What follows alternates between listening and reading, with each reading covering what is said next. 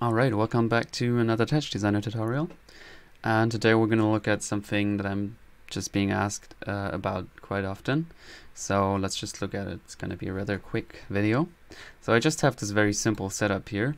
Um, and we're going to look at how you how how I usually um, export stuff and uh, then how I like uh, treat videos especially so they're not like compressed that badly on Instagram or you know other other uh, social media and how you can also nicely send stuff to um, customers so yeah all right so I just have this noise and a rectangle. Uh, as you, if you're following me and following me on Instagram, my latest posts always have this rectangle. I kind of think that always makes it look a bit more, I don't know, nice.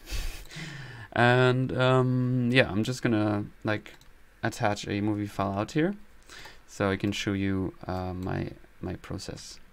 So um, I'm not going to talk about images much because you can. I I usually just uh, recommend using JPEG or PNG. Um, that's what I usually use for Instagram. Works perfectly. So no need to to really talk about that. I have a whole video on exporting as well. So check that out. Um, so yeah, let's talk about the an animation. And um, yeah, I usually just use uh, Photo Motion JPEG and then convert it with a software that we're going to talk about in a second. Um, there's also, you can also use H.264 if that works for you. For some reason it doesn't work on my machine even though I have NVIDIA. But um, yeah, so I usually just use this. And then you can, um, I'm just going to quickly show you my folder. So uh, here's my original uh, file that we're working in right now. And then I always have like this export folder. And in the export folder, there is a converted folder. So in the export folder, that's where we want to save our stuff to. So I'm going to type in export and then tutorial. All right. So um, now it's going to be saved in this uh, export folder here, and it's going to be called tutorial, and then because of this me dot file suffix, it's always going to have like this number and the mof at the end. So we can now change this with the n here. And um, what I'd also recommend for a uh, nicer uh, color look, I noticed um, sometimes it just works better with YUV uh, 422 instead of 420. And if you want to have audio, then reference that here uh, with like just dra dragging your audio ch audio chop in there. All right, but as I said, I have a whole video on exporting. All right, so I'm gonna just um, turn on turn off real time and record uh, a few seconds of this and just change the the number here. So we have like three videos at the end we can work with. Okay, so um, I'm gonna open HandBrake now because that's what I'm using. Uh, unfortunately, apparently it's not available for Mac, but uh, you can download it for Windows here. And I'm gonna uh, link this in the description. So uh, yeah, it's it's free, open source, and um, yeah, Oh, it's actually multi-platform, so you can download for Mac and Linux as well. So that's perfect. So yeah, just go ahead and download that and start it. And when you when you start it, you either uh, you can either drag your uh, now saved files here. As you can see, we have three videos that I recorded. You can uh, now just drag one of them in here, or you can just uh, open the folder. So I'm going to go to the export folder and just pick that. And then we have our free videos loaded in here that we can select here. All right so this is it's not perfect because uh, the whole save as thing down here is not very great but uh, the outcome is, is, is, works perfectly so that's what's important um, the only thing you need to change here is if you go to the dimensions uh, change the cropping fr from automatic to custom and then just leave everything at zero um, for some reason the automatic doesn't really work for me and um, yeah so this is all everything here is totally fine you can just leave it the way it is uh, what you can also do is just save this as a preset uh, give it a name. You don't need to change anything else. And uh, then it's gonna appear here. I have this, this Instagram thing here.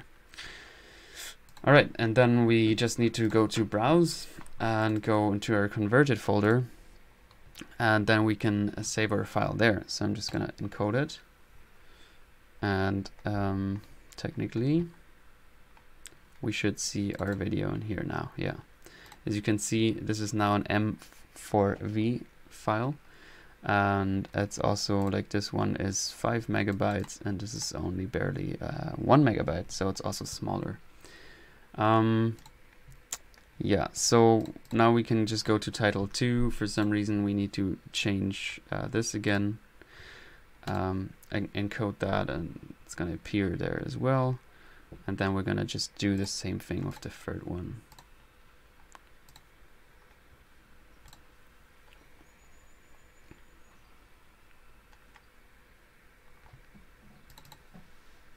Okay, they, they're kind of weirdly named as you can see. But uh, you know oops now I opened it. The names don't matter that much and you can still change them afterwards if you wish. Or you can also change them in here if you want to uh, before you uh, encode them. Alright so perfect. Now we have like three files here and they're all M4V and they're all uh, 30 FPS so if you save this as 60 FPS then um, you you probably should go to video here and change the FPS. But um, yeah, you know, uh, for Instagram, it's not really that important. So what I do then um, is uh, I either like before my phone kind of started screwing things up, I always just exported stuff to my drive, or you know, you can use any cloud, of course. So um, I just have this export folder and uh, I usually just um, have like name my stuff uh, based on the day that I'm making it. As you can see here, I'm using like this particle top system and it's all based on the, on the dates. So um, this month I couldn't actually do much.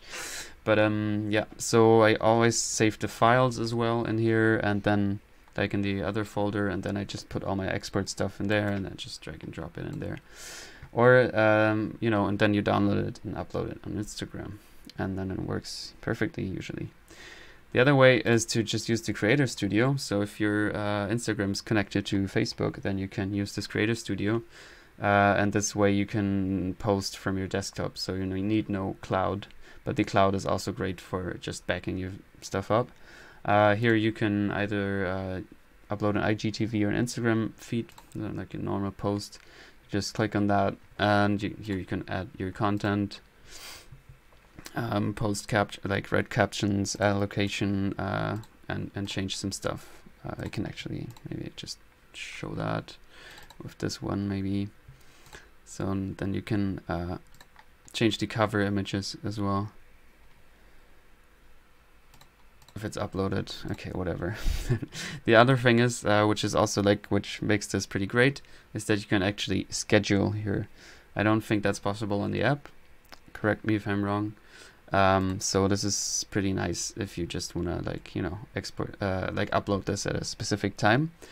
Um, right now so now we can go here and also select like cover image. It's not as nice as um, as the app of course the app uh, I think is perfect from from the UI, but this is also okay. So yeah, this is our these are like the two ways uh, I usually upload uh, because my phone is kind of broken. I pretty much use this page. Uh, yeah, so just to summarize, uh, we just have our setup and um, I'm just adding a rectangle to whatever outcome I want to have.